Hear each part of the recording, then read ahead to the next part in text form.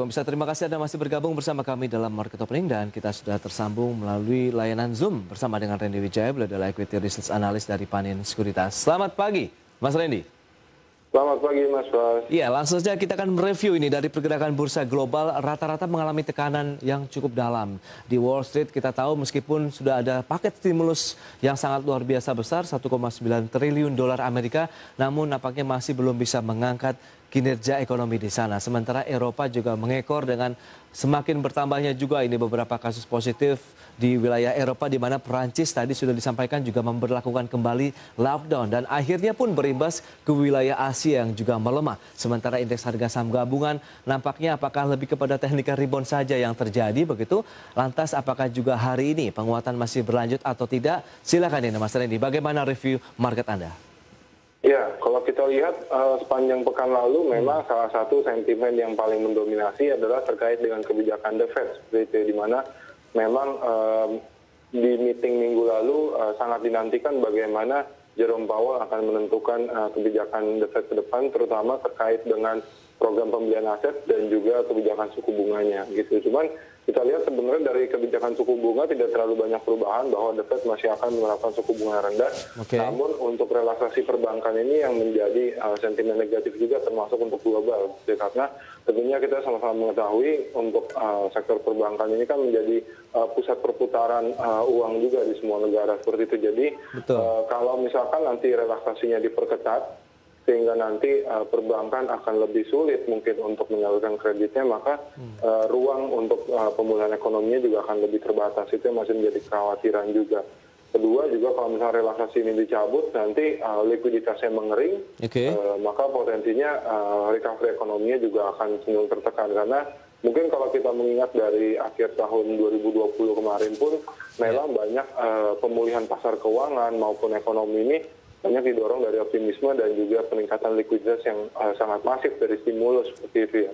Jadi ini yang masih menjadi uh, kekhawatiran pasar juga sampai dengan saat ini. Yeah. Seperti itu makanya kita lihat uh, bahwa uh, hari ini pun uh, terlihat bahwa pasar Asia juga melemah. Hmm. Uh, selain dari uh, faktor dari US ada juga faktor dari Turkish lira di mana memang ada sedikit konflik dari um, pimpinan uh, central bank di Turki dan juga Uh, Presiden Erdogan itu yang menjadi salah satu konflik yang menyebabkan tekanan ke uh, Turkish lira yang akhirnya berimbas juga ke perdagangan pasar keuangan di Asia.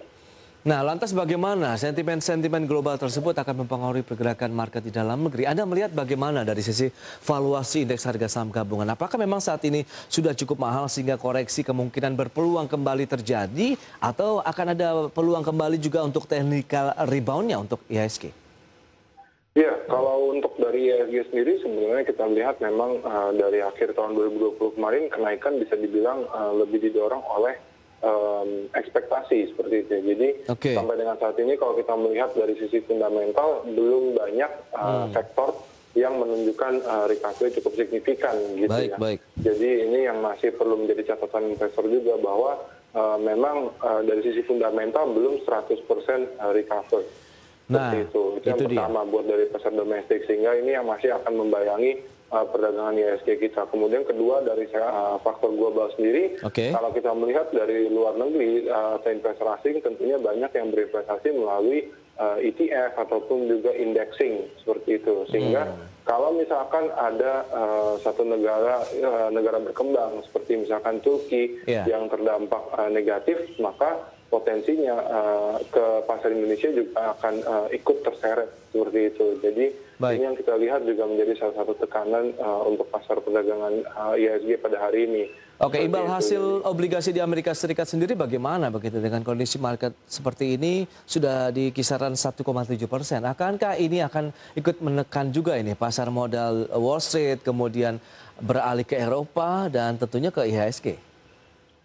Ya, mungkin dengan uh, kayak kemarin uh, The Fed akan mencabut relaksasi perbankan, mungkin ini akan meningkatkan kekhawatiran investor gitu ya, bahwa okay. perlahan-lahan The Fed akan mengurangi stimulus ya walaupun memang sebenarnya masih belum uh, di state secara clear seperti Betul. itu. Jadi kita melihat ini yang uh, masih akan menjadi kekhawatiran dan tentunya akan berdampak terhadap uh, money flow juga gitu. Hmm. Di mana kalau misalkan nanti uh, yield obligasi di US juga sudah cenderung meningkat, ada potensi uh, outflow dari negara lain akan kembali ke US seperti itu. Jadi Oke. ini yang bisa juga menyebabkan tekanan ke pasar Indonesia.